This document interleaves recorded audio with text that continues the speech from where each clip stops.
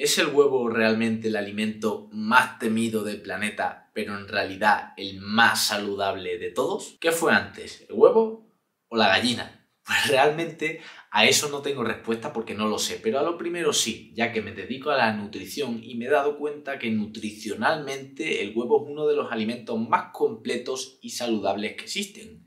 Sin embargo, fue injustamente criminalizado y se decía que te tapaba las arterias, que te ponía el colesterol por las nubes, que era súper peligroso para el corazón, pero ya a día de hoy, por todos los estudios que vamos a ver en este vídeo, nos hemos dado cuenta de que no, de que en realidad sucede todo lo contrario. El huevo mejora la salud, mejora el perfil lipídico y nos aleja de la enfermedad.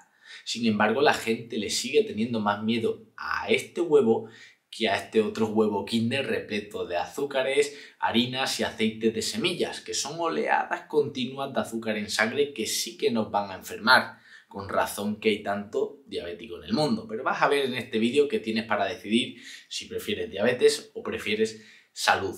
Mi nombre es Alejandro Pérez, experto en nutrición clínica y vamos en este vídeo a echarle huevos a la vida.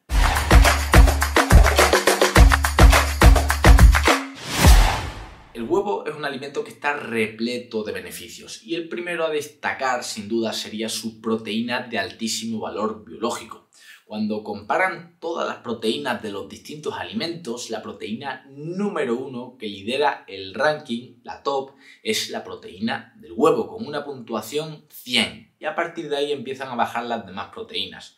Esto se debe a que tiene muy alto valor biológico, lo que significa que contiene todos los aminoácidos esenciales que son los que forman las proteínas y se asimilan de una manera fácil y sencilla, por lo cual acaba liderando el ranking. Y además tiene otro beneficio, que es que está repleto de todos, pero todos los nutrientes esenciales, salvo la vitamina C. Todos. Está repleto de vitamina A, que es un potentísimo antioxidante, como lo, como lo es la vitamina C, como también lo es la vitamina K, que además es cardioprotectora, ya que evita la calcificación arterial.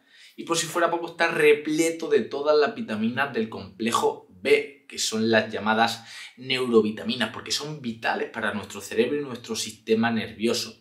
Y además contiene todos los minerales, hierro, potasio, magnesio, el huevo es tremendo, nutricionalmente hablando. Y además hay una vitamina que la gran parte de la población tiene deficiente. Hablamos de que tan solo el 10% de la población llega a los requerimientos mínimos de dicha vitamina, que es la colina. La colina lo que permite es generar la acetilcolina, que es un neurotransmisor que se encarga de nuestro estado anímico y el placer.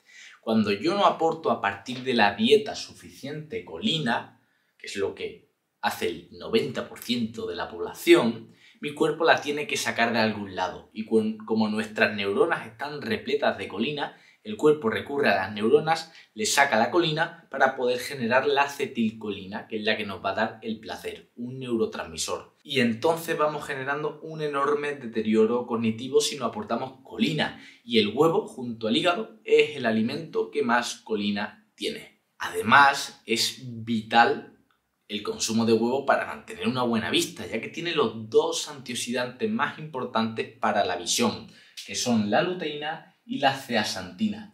Y no solo para la vista, como han demostrado muchos estudios que el consumo de huevos mejora la vista, sino para evitar la oxidación, el envejecimiento prematuro, ese estrés oxidativo que nos está llevando a enfermar. Sin embargo, a pesar de todo esto, mucha gente dice, ya, pero es que el huevo tiene mucho colesterol y altera el perfil de grasas y me manda directo a la tumba de un infarto. Pues no, esto no sucede así. Tenemos metaanálisis muy recientes, incluso del 2021, de 39 estudios y ni más ni menos que 2 millones de sujetos participantes que han exculpado al huevo de los problemas cardíacos. Incluso otros metaanálisis también recientes de 2018 con más de 200.000 pacientes han visto que el riesgo cardiovascular desciende incluso con el consumo de huevo y sobre todo el cerebrovascular. Y lo más importante es que estos metaanálisis desechan la idea de que el consumo habitual de huevo genera enfermedad cardiovascular, tal vez porque muestra unos resultados brutales sobre el perfil lipídico,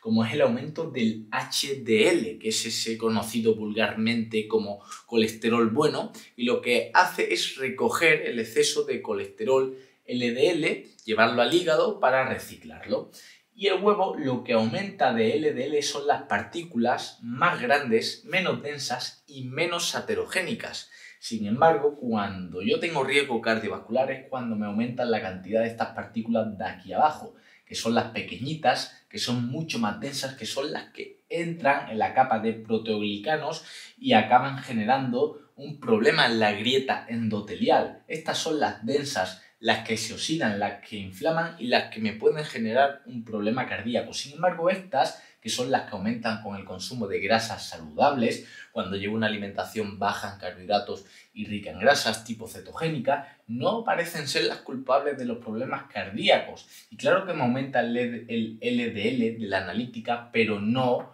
las partículas que son aterogénicas, como muestran muchos estudios. De hecho, el consumo de estatinas se ha visto que aumenta el riesgo cardiovascular porque aumenta, porque no disminuye, que diga, la cantidad de las partículas de LDL densas, sino las que son grandes no aterogénicas.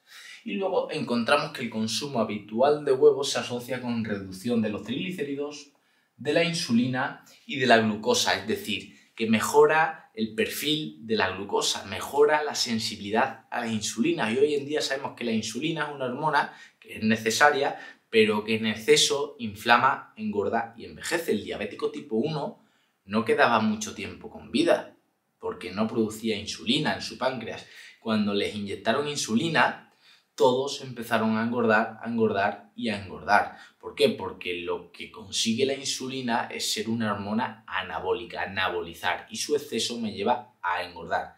El consumo de huevos, sobre todo de una dieta baja en carbohidratos, desciende los niveles de glucosa y de insulina. Y en cuanto al colesterol, pues hay mucha controversia y se piensa que el huevo te dispara el colesterol, pero el hígado realmente, como sabe que el colesterol es tan importante para la vida, pues es precursor de hormonas sexuales, puesto que permite activar la vitamina D, puesto que las personas centenarias tienen el colesterol por encima de 300 porque lo necesita su cerebro, puesto que la grasa saturada es vida ya que la leche materna está repleta de grasa saturada y colesterol, el primer alimento que nos llevamos a la boca, pues el hígado sabe todo esto y fabrica bastante colesterol. Si le doy mucho colesterol dietético a partir del huevo, pues desciende su producción y mis niveles en sangre no cambian. El cuerpo se amolda al consumo de colesterol dietético y el colesterol sanguíneo muchas veces no tiene relación con el colesterol que ingerimos a partir de los alimentos.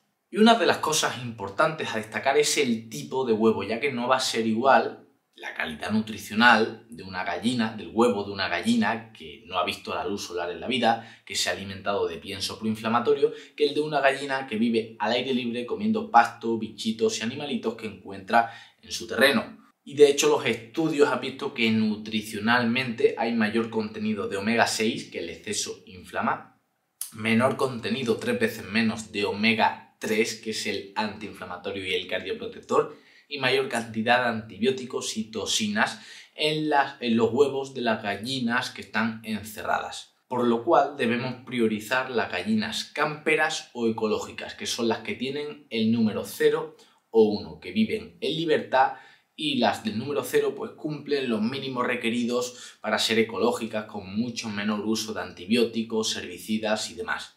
Eso sí, que se me olvidaba, el huevo se come entero, no tiren la yema porque podemos ver que nutricionalmente es lo más rico, lo más denso en nutrientes. Si vemos el color verde que indica los nutrientes de la yema, le mete un repaso tremendo a la clara y además tienen la misma cantidad de proteína por 100 gramos, incluso un poco más la yema, por lo cual también es erróneo ese concepto de solo tomo la clara para la proteína.